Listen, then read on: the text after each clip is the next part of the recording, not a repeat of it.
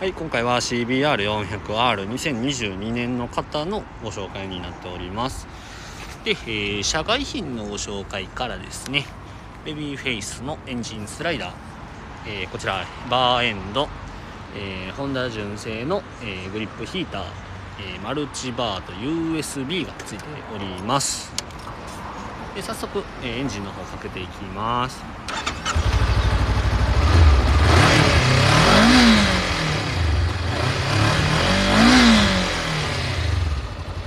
はいすごいデジタルメーターですね。あの新しいメーター新しいやっぱ2022年式のバイクになるのでかなり見やすいメーターですね。で外観もですね正直かなり綺麗。もうこの走行距離とは思えないぐらいかなり綺麗でして。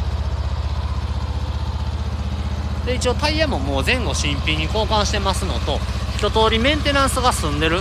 バイクになります。っていうのも一度売却売約済みになったんですけどちょっと事情があってキャンセルになってしまったんでもうある程度整備が終わってる車体となっております。で灯火類は全部 LED に変わってる方になりますのではい、えー、夜間の視認性も抜群ですね。です。で白色のバイクってやっぱりかなりあの全車種、えー、見ても白のバイクってなかなか少ないので結構問い合わせが、えー、多くて、えー、早く売れてしまうバイクになります。